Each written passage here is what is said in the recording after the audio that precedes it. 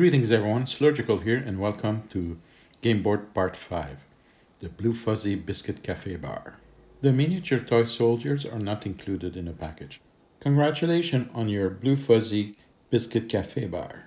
You are now the proud owner of a galactic franchise. The first thing you need to do is to build it and uh, put everything that needs to be inside, painted the corporate colors, and you're good to go. To make it easier to paint, I'm just clipping on the 45 millimeter clips so it's I have a better handle and on holding and painting and manipulating the building while I paint. You don't really need to do that, but in my case, I really need to do that. It makes life much easier and I don't get paint everywhere like that. Okay, this is the riser for the 45 millimeter and this is the riser for the 32 millimeter. For the 28 millimeter, you don't need it, you just need the building. The power unit on the roof, you can get it from Free Pack 1. As a primer, today I'm using Mod Podge. Now we're painting the building with the corporate color.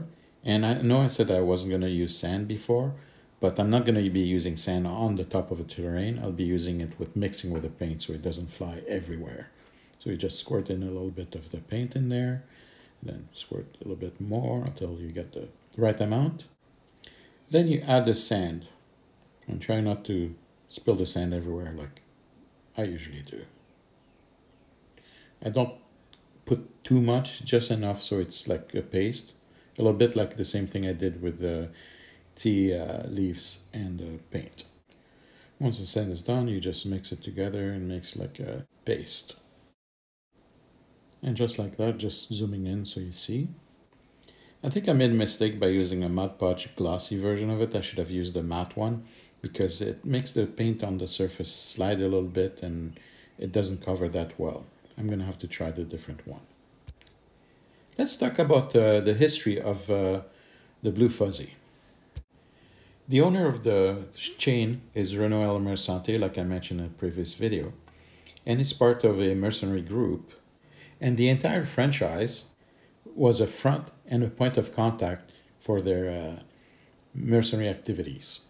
And their largest uh, client were the Rebel Alliance. The franchise was also used as a safe house to hide their clients or themselves in case of uh, an emergency. I have to put two coats because of the paint is uh, craft paint, so it doesn't really have a really good coverage and the surface I'm painting on is slippery, like I said, because I used a glossy primer. Now that the blue is all painted and uh, covering the entire uh, middle section, we're going to move to the next uh, color. And the next color is the official corporate purple. And as you can see, the coverage is even worse with this color. If you guys have any uh, advices uh, or trick hey, please feel free to leave a comment about it. It helps me, it helps other people, and uh, hopefully I won't be making that mistake again. While the first coat is uh, drying for the purple, I'm just painting the food dispenser and drink dispensers. I'm going to do a, a green, a lime green, as you can see there, a yellow, and uh, the other one's going to be red.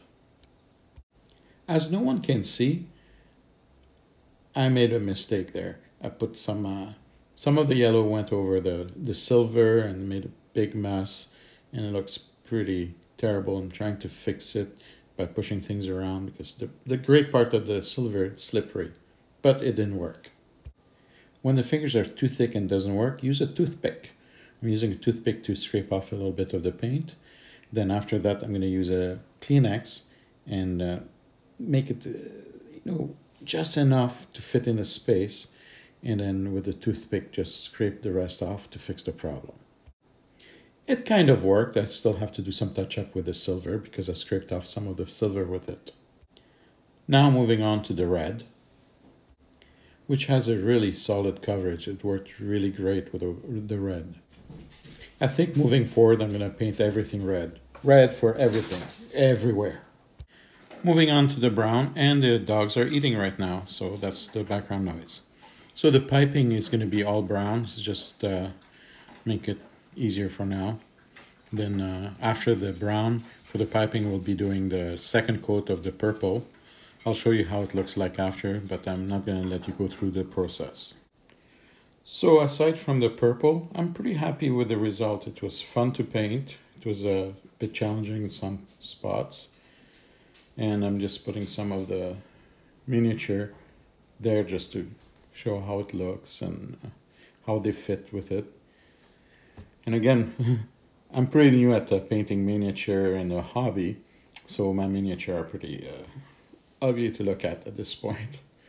Eventually, I'll get better at it, but for now, this is how I, I do things. And please, to help the channel, don't forget to hit the like button, uh, share, uh, comment. Those things really, really help with the overall uh, visibility of the channel. And also, don't forget to subscribe. And uh, you can purchase this uh, Blufuzzy franchise at my store. Go and check it out. You know, the really great thing about all of this is that I love playing role playing games, and we played uh, Star Wars from the West End game for years and years until we moved on to our own homebrew rules. And all those storylines, all those characters, all those places that we created in our mind, and now it, we can actually make them real with 3D printing, CAD design, and and this hobby is just out of this world. It has been so great. Uh, it's therapeutic. It's fun, and makes me want to play more. And, I, it brings back so many many good memories that uh, I thought they were lost for for good. every day, every time I make a piece of terrain, I think of one adventure or one misadventure or many of them, and uh, amazing to me to be able to share all those things with you guys and with my friends who are sure they're watching this and going like, "Wow, I remember that."